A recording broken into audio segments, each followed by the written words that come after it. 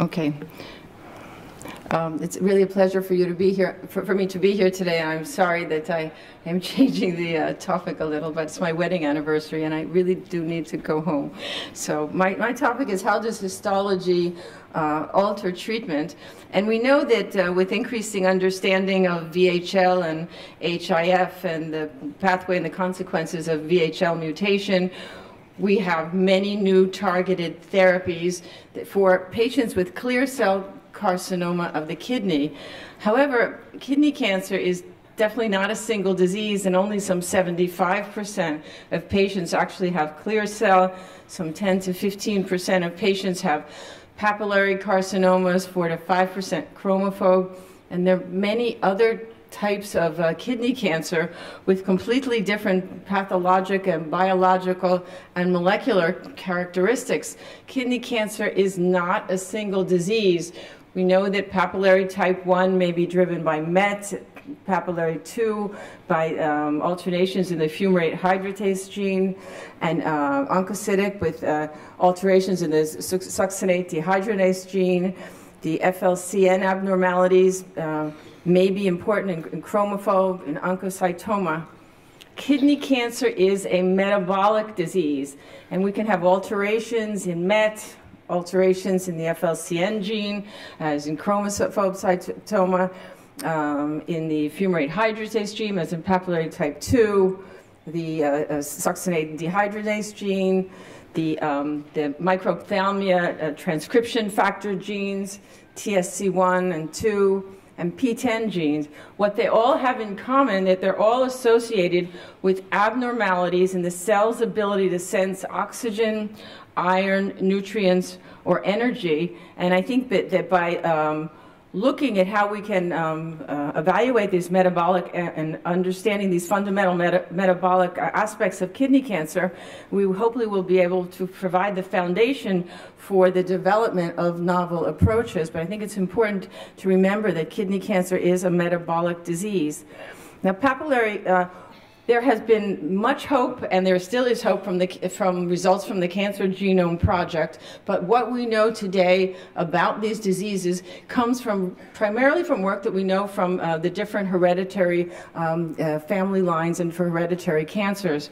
So um, papillary type 1 kidney cancer is, uh, we know a lot about hereditary type 1 papillary cancer, familial syndrome. It's a germline mutation of the c-MET gene. And then they have, patients have a 90 percent chance of having thousands of tumors that are bilateral, and you can see that the histology is different than other histologies. And the treatment of choice is actually active surveillance of the small tumors and wait and do surgery when they have this, the tumors are three centimeters because they do develop these bilateral tumors. In the sporadic tumors, 13% of them will have c-MET mutations. And these are often less likely to metastasize than the clear cell cancer. And again, surgery is the standard of care. Again, showing bilateral kidney cancer. It's an autosomal dominant, the hereditary papillary variant. Now, type 1 papillary is often mixed together many studies with, with, with, papillary type 2 cancer, and these are completely different. They're really different tumors. Uh, um, papillary type 2 is made up of a number of different non-type 1 papillary cancers. We know from genetic studies that hereditary leiomyomatosis, germline mutation of the fumarate hydratase gene can be involved. This is an aggressive disease. Nobody thinks about active surveillance until they have a three centimeter lesion. Wide resection, wide resection is recommended. And this is a perfect example of where we can see the Warburg effect. Um, the Warburg effect is where aerobic glycolysis comes into play.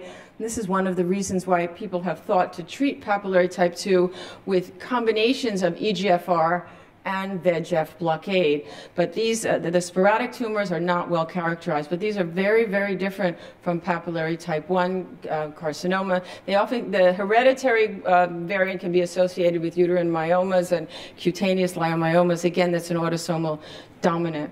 The chromophobe carcinoma, 4 to 5% of all renal cancers. It's in, uh, the inherited so syndrome is Birt uh, and the germline mutation is in the FLCN genes in more than 90% of the families. And these are generally indolent tumors unless they're associated with sarcomatoid features. And then sarcomatoid, which will be in a, uh, Victor Grunwald will speak about later, once they're associated with other tumors can or have a completely different course. But here again, we speak about a slower growing tumor, active surveillance until three centimeters, and then surgery. And here you can see with the, with the FLCN gene uh, mutations, you can see oncocytomas, oncocytic renal cell carcinomas, and chromophobe tumors. These are all very different tumors. Now, collecting duct carcinoma or Bellini tumor is another kind of tumor. It occurs rarely, but I see quite a lot of them. It occurs in less than 2% of cases. It's a highly aggressive tumor. It, it comes from the collecting ducts in the renal medulla and it responds transiently to uh, therapy for transitional cell carcinoma. It doesn't respond to sunitinib, and patients often come in on therapy with sunitinib, but we really don't know the clear role of targeted therapy because no studies have really clearly been done aimed on this, with, on, on this disease with uh, targeted therapies. So in terms of uh, collecting duct tumors and Bellini tumor, the largest study that I found was done by Stéphane Oudard, published in 2007. It was a phase three, a phase two study of 23 patients in which he gave gemcitabine and cisplatin or carboplatin, and he did find a 26% overall response rate, um, the PFS of 7.1 months, and overall survival of 10.5 months. So this is the largest study that we have. He's told me that he's now planning another study with the combination of bevacizumab. I'm not sure if this will be just a French study or if other of us will be able to participate, but we really don't know what to do with this highly aggressive tumor. Renal medullary carcinoma occurs in uh, young patients with, of African descent uh, with sickle cell trait or with hemoglobin SC disease. It's an extremely lethal disease. Some transient responses to chemotherapies for transitional cell carcinoma have been seen. Um, since there is some overexpression of DNA topo 2, uh, it's been thought that adriamycin and etoposide might be useful, and we don't have any support for the use of VEGF or mTOR inhibitors in this disease. Um, last year, I, I, I discussed the, 11, uh, the Xp11.2 translocation carcinoma, part of the microphthalmia tra um, transcription family of, of cancers, the TFE3 tumors, um, first discovered um, recently in, in, in, the 1980s, is primarily is a tumor of children, and we rarely see it in young adults. I had had a 20-year-old patient that I presented last year, and this was the first case ever described by Marston Linehan and his group in a 21 21-year-old college student in which they did the uh, genetic studies on her. It was the first case of a TFE3 kidney cancer and, and translocation. And it's a different family of tumors with a different um, history, and perhaps they do respond to sunitinib somewhat.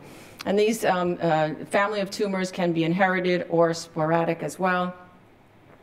And then there's the unclassified renal carcinoma that's usually an aggressive tumor. It's a really heterogeneous group, and we're not sure about the role of targeted therapy. I'm leaving apart sarcomatoid tumor and mentioned. So we have an international database uh, consortium prognostic model looking at thousands of patients. 252 had non-clear cell. These patients tend to be younger, have lower hemoglobin, higher neutrophils, but they do have a significantly worse outcomes than patients with clear cell uh, renal carcinoma. And these are the studies that we have um, right now with sunitinib and sorafenib, we have retrospective study done by Choueiri um, with sunitinib and sorafenib. Uh, he did this in a, a, few really excellent centers in the United States. Excellent pathologists reviewed the pathology and often changed the pathologic diagnosis on many of the patients. He, he did get together 53 patients. Um, um, the overall response rate was about 10%. Uh, it was higher in the chromophobe than in the papillary. And sunitinib um, had a PFS of 11.9 as compared to 5.1 months with sorafenib. From uh, Martin Gore's um, extended access uh, program with sunitinib, again, there were non-clear cell carcinomas. They're not really defined what exactly was their pathology, and there was a, median PFS of 7.8 months, but a, a decent uh, median overall survival. And the sorafenib expanded access program reported in the United States had a, a mixture of papillary chromophobe collecting duct, and as I showed you, these are really different tumors showing 40-week survival. But all of these studies um, pointing to the fact that there are, is some activity with these drugs. These are the phase two trials looking at sunitinib in non-clear cell uh, carcinoma, uh, I'll talk again about Ravaud's uh, later trial afterwards. But in most of these trials, you can see there's one from uh, France, one from Memorial. There are some responses in these patients. Many of them have papillary, but many of them have mixed tumors. The study from Korea by Lee had the highest responses of 36% response rate and 26% in the papillary car carcinomas, the chromophobe that were lesser fewer of those patients did better. Tannir at MD Anderson has put together 57 patients, again, a mixed, really mixed group of patients uh, showing a 5% overall response rate, but a 16.8 month overall survival. So the uh, SUPAP study is a, is a phase two, straight uh, phase two study with sunitinib in patients with both type 1 uh, and non-type 1 papillary uh, carcinoma based on all these data that sunitinib should be working in, in papillary renal cell carcinoma. And the other thing we heard a lot about was temsirolimus, and based on the Hudes study, 20% um, of the patients uh, uh, did not have clear cell carcinoma these 20% of patients seem to have done better than the patients with clear cell carcinoma, if you look on this graph. And temsirolimus became the de facto treatment of choice for a while for these patients. But again, they're, they're not really specified who are all these patients. They have different um, non-clear cell histologies. Um, this led to the everolimus trial, um, another mTOR inhibitor, another rapalog uh, called the Raptor trial, the Raptor trial, with the primary endpoint being PFS at six months for patients with advanced papillary tumors. Now, Alain Ravaud presented the results of this, the SUPAP trial uh, at um, the ESMO meeting in 2012, and Bernard presented the results in 2013 uh, at the ECCO meeting. And you can see that they, in many centers, they got together quite a lot of patients. This was not an easy task. 60 in, this, in the SUPAP trial and 92 in the everolimus trial. Um, in the SUTENT trial, there was a 5.6 month PFS and overall survival of 12.5 months. In the everolimus trial, the investigator found a 7.6 months progression-free survival, but at central review, this was only 3.7 months. The overall survival, which can't be changed, is 21 months, which is important. So I think that um, the, the, we know the investigators often, let's say, overestimate what the central review often underestimates or whatever, but that these both of these drugs do have activity in papillary carcinoma. Again, the problem of mixing these two papillary type 1 and 2, which are completely different diseases in all of these trials.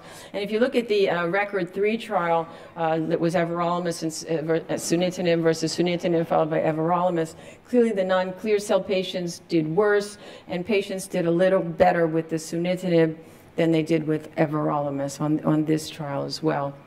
So um, the uh, and his, his group at uh, Memorial have now looked together at putting the rapalogs together, and they've mixed together the non-clear cell and the sarcomatoid. I'm only going to speak about the non-clear cell. There are 62 of those patients with non-clear cell carcinoma given either everolimus or uh, temsirolimus, and what they found was a PR rate of uh, 5% with, um, with, with the rapalogs and 56% stable disease. So here you can see this graphically presented better. Again, the unclassified patients, most of them had stable disease. There were some patients who had partial response either with everolimus or temsirolimus. Papillary, the same. There were two patients who had a partial response and the majority of patients had stable disease. And chromophobe as well, there was stable disease seen in these patients. So again, if you look here um, at the memorial data on the non-clear cell patients, um, of the, the uh, 62 patients, the median PFS is 2.8 months, and the median OS is 9.1 months. So, I mean, this is, a, again, a study that mixed sarcomatoid and non-clear cell. Again, I think because these patients are less, this is what's being done. This is a retrospective study, but that's what's out there. And what was um, particularly seen in this, in this study was that, that uh, the rapalogs do have um, some activity in sarcomatoid and, and all of these non-clear cell histologies, but what really uh, show, was more important for overall survival was the MSKCC risk group more than, more than the histology. So these are two other trials that are ongoing because we really don't know in the um, non-clear cell histology if we should be using sunitinib or everolimus up front. And this was a study that's led by the uh, Duke uh, group. It's called ASPEN, and it's for patients with papillary or chromophobe non-clear cell carcinoma. It's ongoing, but it's, it's not recruiting patients anymore. The 108 patients randomized between upfront everolimus or sunitinib, the primary endpoint being progression-free survival and a very similar study by the MD Anderson group. It's also called the ESPN trial. Again, this study is ongoing, but it's not recruiting. And the eligibility criteria here are, much broader. Again, 108 patients are randomized, but here they're including chromophobe, papillary collecting duct, translocation sarcomatoid, and unclassified. So it's a, it's a similar study, but with different groups of patients in it, which will definitely affect the results. Now, uh, foretinib is a very interesting molecule. It's a dual VEGF receptor and MET inhibitor. And Tony Choueiri um, studied this along with the group from the NCI, and they showed they looked at intermittent dosing and daily dosing. And what they saw um, most important of all was that the patients who had, um, the 10 patients who had germline MET mutations, there was actually a 50% partial response rate. So these were the patients who really responded the most. And you can see this on a waterfall plot. I think this was shown earlier. The ones in purple are the ones with the germline mutations of MET. So clearly a, a, an excellent drug for this disease, which I think has been dropped by the company because perhaps it's not interesting enough.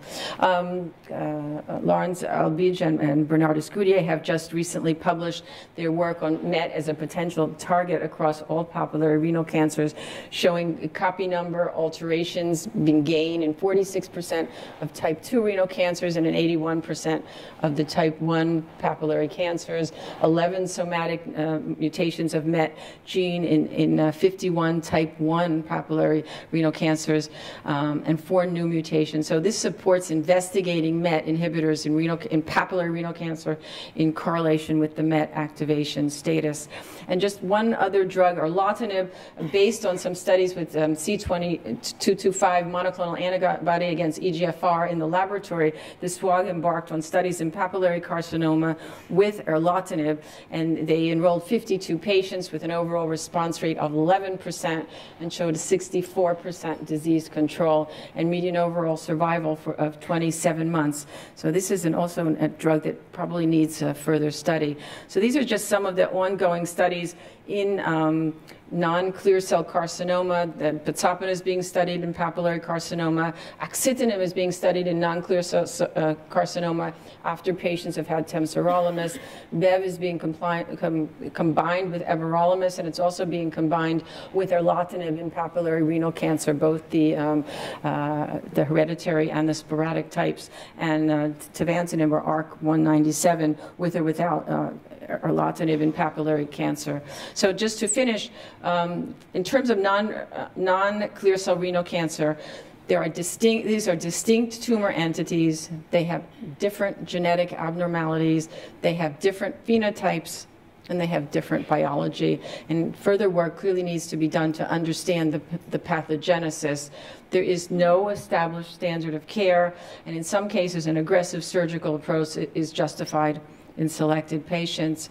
Um, the VEGF TKIs and mTOR inhibitors have shown safety and efficacy in the extended access protocols and in some prospective phase two trials. There's a role for the c-MET inhibitors in patients with germline mutation of c-MET. The role of EGFR inhibitors is being explored, and in my mind, all patients with metastatic non-clear cell carcinoma should be referred for enrollment on clinical trials. And thank you much, very much for your attention.